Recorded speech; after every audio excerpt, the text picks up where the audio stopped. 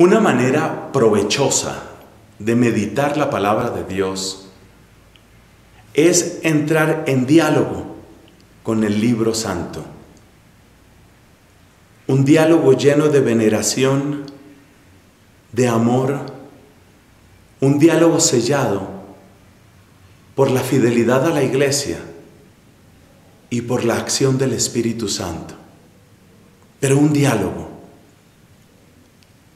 si ese libro santo es una palabra, es el comienzo también de una conversación. Y normalmente cuando queremos conversar, hacemos preguntas y también ofrecemos respuestas. Así pues, hagamos preguntas. En el caso del Evangelio de hoy, nos dice Jesús, en el Evangelio de Mateo, yo no he venido a abolir la ley, yo he venido a darle plenitud. Es evidente que esa manera de hablar viene a responder una acusación, una objeción que seguramente venía en aquel tiempo de los escribas y de los fariseos.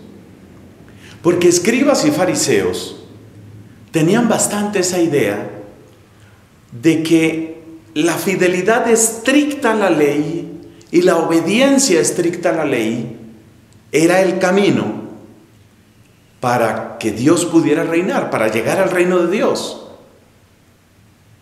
De manera que el mensaje de Jesús tenía que parecerles, por decirlo menos, sospechoso.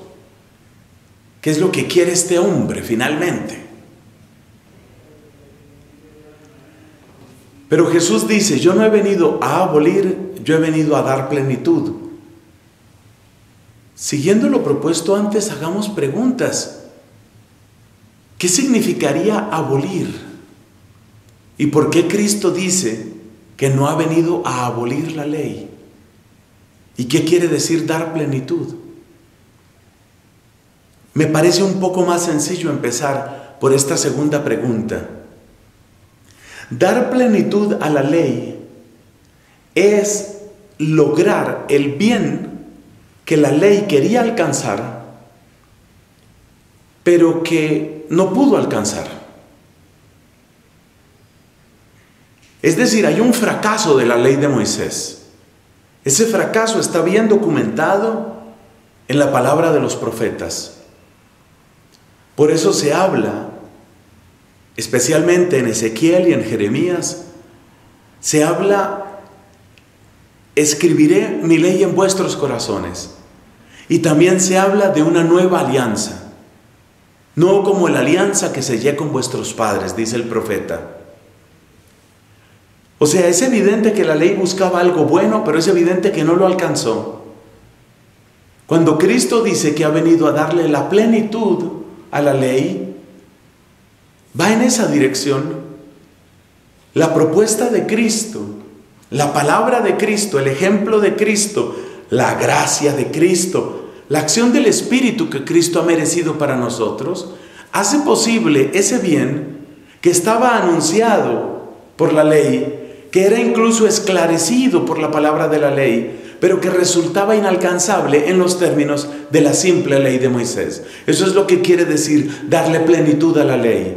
Porque Cristo con su palabra, con su ejemplo, pero sobre todo con su gracia, esa gracia abundantísima en el sacrificio de la cruz, hace posible que se llegue ese bien, se llegue a ese bien que la ley prometía.